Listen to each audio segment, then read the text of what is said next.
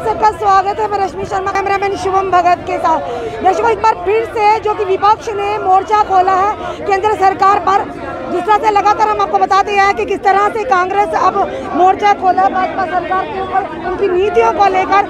जहाँ एक तरफ़ बताना चाहेंगे आपको, स्टेटहुड का दर्जा वापस लेने की लगातार बात की जा रहा, वही दूसरी तरफ़ महँगाई को लेकर पेट्रोल और डीजल के दाम जिस तरह से आसमान छू रहे हैं, कहीं ना कहीं आम जनता की जेबों पर डाका डालने का काम कर रही है केंद्र सरकार।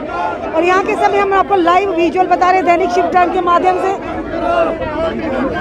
और यहाँ आज रमन योगेश सहनी और भी अन्य जो कांग्रेस के नेता यहाँ पर धरना प्रदर्शन कर रहे हैं, यानी कि एजुकेशन के रूप में आपको देखने को मिल रहा है। शहीदी जो कांग्रेस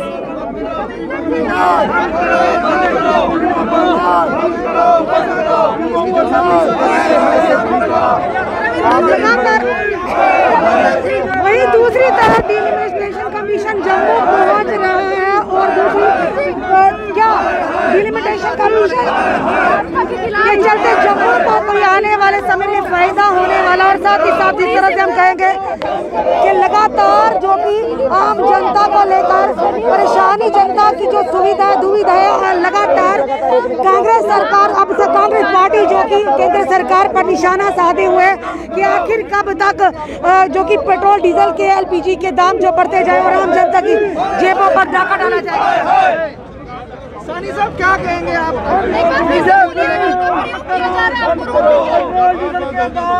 प्रदेश कांग्रेस कमेटी की जिला कांग्रेस कमेटी की तरफ़ से आज यहाँ पेट्रोल, डीजल के जो दाम पिछले सात वर्ष से भाजपा सरकार ने जो बढ़ाए हुए हैं, उसके खिलाफ आज प्रदर्शन है।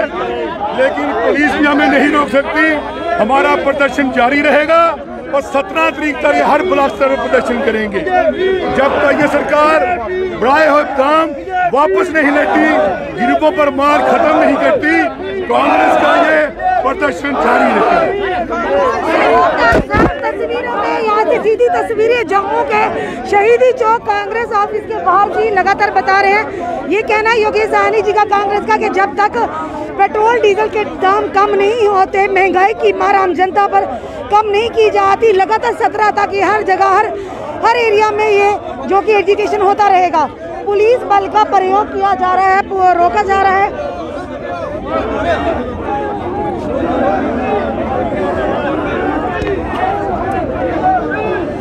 यहाँ पर लगातार तस्वीरों में देख रहे हैं, सीधी तस्वीरें जम्मू के शहीदी चौक से।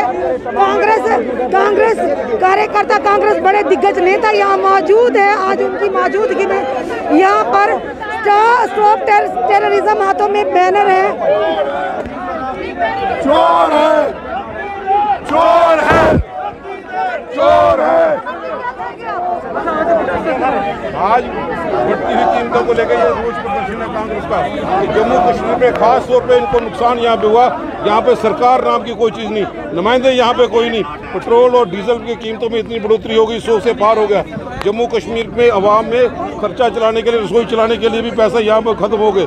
कोरोना की इस बीमारी में भी इस महँगाई की मार को के लोगों की कमर तोड़ दी।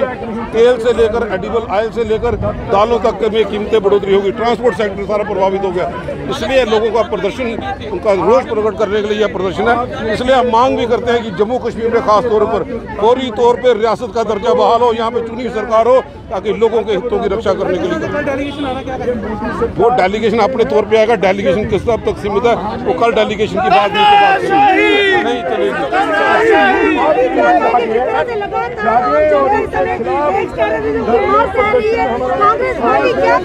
कांग्रेस रोज प्रदर्शन सड़कों पर यहाँ पे लोगों की आवाज़ को बुलंद करने के लिए। गरीब आवाम का चूल्हा जलना मुश्किल हो गया। इस महामारी में भी पेट्रोल और डीजल की कीमतों में बढ़ोतरी की जा रही है। तेल में भी बढ़ोतरी की जा रही है। दालों की कीमतों में बढ़ोतरी हो जा रही है। इसलिए हम विरोध करने के लिए गूँगी बैरी सरकार होश में आए और हम मांग करते हैं इसलिए जम्मू कश्मीर में रियासत का दर्जा फौरी तौर पर वापस आए ताकि लोगों के हितों की रक्षा सुनी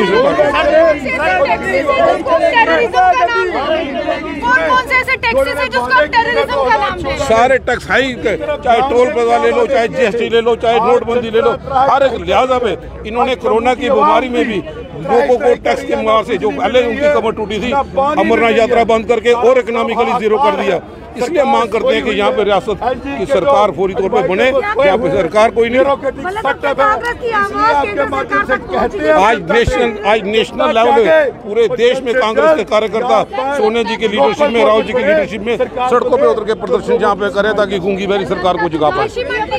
लगातार यहाँ के लाइव दृश्य दैनिक शिफ्टन के माध्यम से ये कहा जा रहा है कि जब तक कांग्रेस पार्टी तब तक धरना प्रदर्शन करती रहेगी जबकि ये टैक्स टेररिज्म की मार जो आम जनता पर केंद्र सरकार की ओर से बढ़ती जा रही, जब तक इसका, यानी कि इसकी कमी नहीं आ गई इसमें जिस तरह से लगातार पेट्रोल दाम के डीजल में वृद्धि होना, कहीं ना कहीं आम जनता की जेबों पर डाका डालने का काम कर रही है केंद्र सरकार।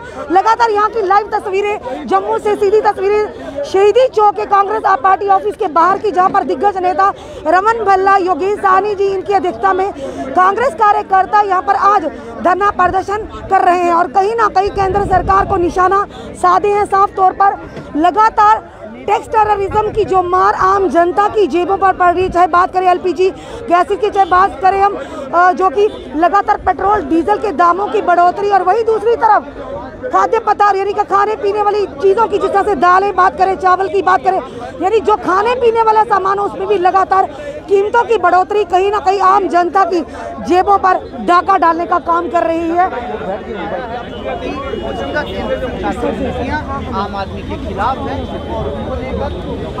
लगातार आवाज़ उठा आम जनता भी अब त्राही माम त्राही माम कर रही जिस तरह से महँगाई की मार आम जनता की जेबों पर एक डाला डा, डाका डालने का काम कर रही वहीं केंद्र सरकार कहीं ना कहीं गहरी नींद में सोई है।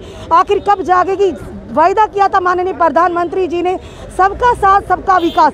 क्या ये तस्वीरें आपको विकास की दिख रही हैं? आम जनता, आज विपक्ष भी आवाज़ उठा रहा कहीं ना कहीं, जो कि केंद्र सरकार पर निशाना साधे है लगातार। इस समय दैनिक शिक्षण के माध्यम से लगातार जो तस्वीरें हम आपको बता रहे हैं, ये शहीद, जम्मू के शहीदी चौक से है कांग्रेस पार्टी की द्वारा ये कहा गया कि सत्रह तक अब लगातार ये धरने प्रदर्शन होंगे।